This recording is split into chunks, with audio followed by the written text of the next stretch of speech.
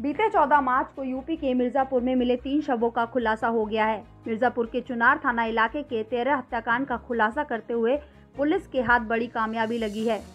बिहार में हत्या करके शवों को उत्तर प्रदेश के मिर्जापुर में फेंकने वाले चार बदमाशों को भी पुलिस ने गिरफ़्तार कर लिया है।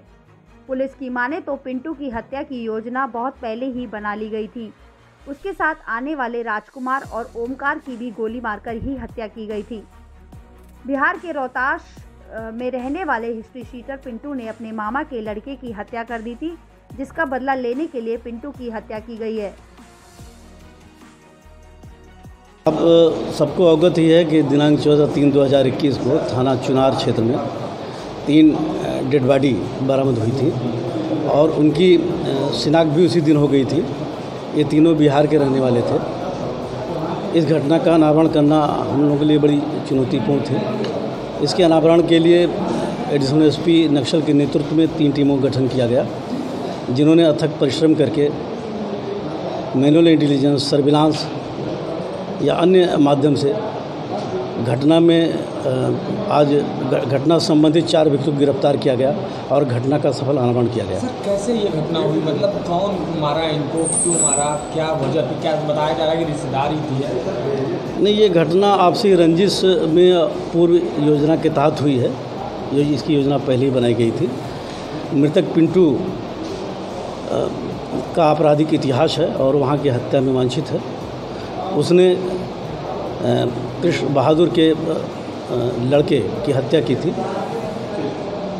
उसी के कारण कृष्ण बहादुर के घर वालों ने, जिसमें एक, आप देख रहे हैं अनिल गिरफ़्तार है, कृष्ण बहादुर का छोटा भाई है, उन्होंने एक योजना के तहत और सबका गुट बना करके आपसी विचार विमर्श के बाद घटनास्थल पर बुला करके इन तीनों की हत्या कर दी। ये रिलेशन में भी थे सर मामा बताया जा रहा कि वो मामा थे कुछ ऐसा रिलेशन भी है इनका जिनकी हत्या हुई है नहीं इनका दूर का रिलेशन है इनका दूर का रिलेशन है।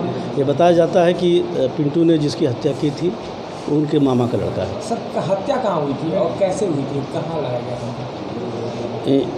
जो हत्या हुई थी ये कोचस थाना क्षेत्र है बिहार में। और शैलाश गाँव के आसपास घटनास्थल बताया गया है जहाँ इनकी हत्या की गई। बुला इनको दावत के बहाने बुलाया गया था और वहीं गोली मार करके हत्या कर दी गई थी। सौ सर ले आया गया था। सौ सर ने कहाँ कैसे लेके आए लोग ये सौ वहाँ से लेकर के चले हैं रात में और रात में सौ लेकर के चले और भभुआ यूपी बॉर्डर में आए हैं क्योंकि एक इसमें अभियुक्त विकास राय जो अभियुक्त विकास राय है वो बनारस का रहने वाला है बनारस में भी रहता है। तो उसको सारे रास्तों की जानकारी है और मेन रोड से ना होकर के लिंक रोडों से होकर के आया है और उसने यहाँ पर डेड बॉडी फेंक दी आपको बता दें, पिंटू की हत्या करने के लिए उसे दावत पर बिहार के कोचस थाना के सैलास गाँव में बुलाया गया था, जिसमें वो अपने साथ दो और राजकुमार और ओमकार को लेकर पहुँचा था, जिसके बाद योजना के तहत तीनों को गोली मार दी गई। उसी दिन पुलिस ने मृतकों की शिनाख्त कर ली थी। पुलिस की गठित टीम ने चुनौती बने हत्याकांड में वांटेड बिहार जनपद के चार लोगों को गिरफ़्तार किया है। इसमें तीन बिहार तो चौथा वाराणसी का रहने वाला है। साथ ही पुलिस ने बताया कि बदमाशों के पास से असला और ज़िंदा कारतूस बरामद किया गया है। कानूनी कार्रवाई करते हुए उन्हें जेल भेज दिया गया है। साथ ही हत्याकांड का खुलासा करने वाली टीम को पच्चीस हज़ार रुपए का इनाम भी घोषित किया गया है। मिर्जापुर से न्यूज़ के लिए नितिन अवस्थी की रिपोर्ट।